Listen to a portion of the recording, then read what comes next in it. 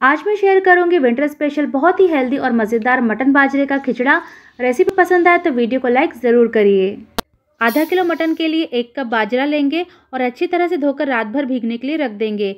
कम से कम पाँच से छः घंटा भीगने के लिए ज़रूर रखें। बाजरे को भीगे हुए दस बारह घंटे हो गए हैं। बाजरा अच्छे से फूल गया है। अब आधा कप छिलके वाली मूंग दाल और एक तिहाई कप चावल को अच्छी तरह से धोकर भीगने के लिए रख देंगे। और ये मैंने आधा किलो मटन को भी अच्छी तरह से ये मैंने पाँच बड़ी प्याज ली है। प्याज को छिलकर पत्ते पत्ते स्लाइसेस में कट कर लेंगे और इस तरह से लेयर्स को अलग कर लेंगे ताकि प्याज अच्छे से और क्रिस्पी फ्राई हो। कुकर में एक कप तेल गरम करेंगे।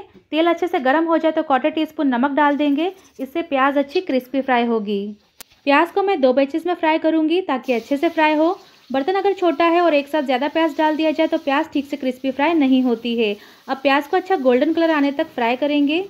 तो प्याज का रंग गोल्डन हो गया है, इसे ज़्यादा फ्राई नहीं करना है, नहीं तो प्याज का मीठापन चला जाएगा और प्याज में थोड़ी कड़वाहट आ जाएगी। बाद में प्याज का रंग और डार्क हो जाता है। अगर अभी थोड़ा और डार्क कर देंगे तो बाद में प्याज का रंग ब्लैकिश हो जाएगा। अब प्याज को प्लेट में निकाल लेंगे और थोड़ा खोलकर फैला देंगे, जिससे हवा में प्याज अच्छी क्रिस्पी हो जाएगी। इसी तरह से बाकी की प्याज भी फ्राई कर लेंगे। तो ये प्याज का सेकंड बैच भी फ्राई हो गया है और फ़र्स्ट बैच की प्याज भी अच्छी क्रिस्पी हो गई है। अब दूसरे बैच की प्याज को भी प्लेट में निकाल कर फैला देंगे। दाल चावल भी भीग गए हैं। बाजरा और दाल चावल का एक्स्ट्रा पानी निकाल कर कुकर में डाल देंगे। अब एक छोटा चम्मच नमक ऐड करेंगे और दो ग्लास पानी डालकर मिक्स करेंगे। अब पाँच से छः सीटियाँ ले लेंगे और प्रेशर के निकल जाने के बाद ही कुकर का ढक्कन खोलेंगे। अब कुकर में बचा हुआ तेल गरम करेंगे। तेल गरम हो जाए तो एक तेज पत्ता, एक बड़ी इलायची, तीन हरी इलायची, एक छोटा टुकड़ा दालचीनी का, एक चक्री फूल, एक छोटा चम्मच शाह जीरा, दस से बारह दाने काली मिर्च के और तीन लौंग डाल देंगे। कुछ सेकंड्स गरम मसाले को फ्राई करने के बाद मटन डाल देंगे और मीडियम टू हाई फ्लेम पर तीन से चार मिनट या मटन का कलर चेंज होने तक फ्राई करेंगे। मटन फ्राई हो गया है। अब इसमें तीन हरी मिर्चें स्लिट की हुई और दो छोटा चम्मच फुल भरकर अदरक लहसुन का पेस्ट ऐड करेंगे और मीडियम फ्लेम पर दो से तीन मिनट भूनेंगे। अब इसमें कुछ ड्राई मसाले ऐड करेंगे, जिसमें आधा छोटा चम्मच हल्दी पाउडर, एक छोटा चम्मच लाल मिर्च का पाउडर, दो छोटा चम्मच धनिया पाउडर, एक छोटा चम्मच या टेस्ट के हिसाब से नमक और एक छोटा चम्मच ज़ीरा पाउडर डालकर दो मिनट भूनेंगे। अब यहाँ मैंने एक छोटा टुकड़ा जावित्री का और एक छोटा टुकड़ा जायफल का लिया है, इसे कूट लेंगे। इसे भी मटन में ऐड कर देंगे। इसका काफ़ी स्ट्रांग फ्लेवर होता है, इसलिए ज़्यादा नहीं डालना है। ये मैंने एक मुट्ठी धनिया और एक मुट्ठी पुदीना को कट कर लिया है, इसे भी मटन में मिला देंगे। एक मुट्ठी फ्राई की हुई प्याज डालकर मिक्स करेंगे। अब आधा ग्लास पानी डालकर कुकर का ढक्कन लगा लेंगे और चार सीटियाँ ले लेंगे। फिर प्रेशर के निकल जाने के बाद ही कुकर खोलेंगे। और यहाँ चार सीटी के बाद प्रेशर पूरा निकल गया है। साइड में तीन ग्लास पानी गर्म होने के लिए रख देंगे। और बाजरा दाल चावल को पाँच से सात मिनट अच्छी तरह से मैश करेंगे। बाजरा पूरी तरह से मैश नहीं होगा, लेकिन दाल चावल अच्छे से और आसानी से मैश हो जाएँगे।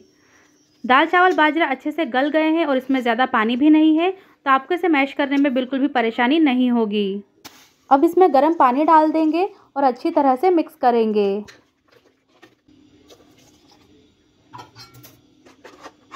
तो इस तरह से इसकी कंसिस्टेंसी है। अब मटन चेक करेंगे। तो मटन भी अच्छी तरह से गल गया है। अब खिचड़े को चूल्हे पर रखकर फ्लेम को ऑन कर देंगे और इसमें मटन ऐड करेंगे। खिचड़े और मटन को अच्छी तरह से मिक्स करेंगे। अब कुकर में थोड़ा पानी डालकर लगा हुआ मसाला भी पूरा ले लेंगे। इसे अच्छी तरह से मिक्स करने के बाद इस स्टेज पर नमक भी चेक कर लें। मुझे इसमें थोड़ा नमक कम लग रहा है, इसलिए मैं थोड़ा नमक और ऐड कर रही हूँ। नमक मिक्स करने के बाद बची हुई प्याज में से आधी प्याज ऐड कर देंगे। दो छोटा चम्मच किसा हुआ अदरक और दो हरी मिर्च कट करके डालेंगे और अच्छी तरह से मिक्स करने के बाद लो टू मीडियम फ्लेम पर 10 मिनट पकाएँगे ताकि मटन का फ्लेवर खिचड़े में अच्छी तरह से आ जाए। बीच बीच में चलाते रहे, नहीं तो खिचड़ा तले पर लगने लगेगा। तो 10 मिनट हो गए हैं, अब फ्लेम को बंद कर देंगे और क्वार्टर टी स्पून गर्म मसाला पाउडर, थोड़े से धनिया और पुदीना के पत्ते और थोड़ी सी फ्राई की हुई प्याज मिक्स करेंगे। अब इसे गर्मा गर्म सर्व करेंगे।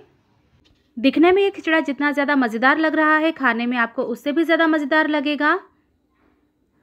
इसके ऊपर ढेर सारा नींबू का रस डालेंगे, इसके बाद फ्राई की हुई प्याज, थोड़े से धनिया और पुदीना के पत्ते, अदरक के लच्छे और कटी हुई हरी मिर्च से गार्निश करेंगे।